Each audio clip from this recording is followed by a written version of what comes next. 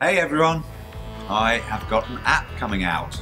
We'll be live streaming shows from all around the world. We can interact, you can ask me questions. There'll be every album I've ever made, every track I've ever released, plus a lot of exclusive stuff available only on the app.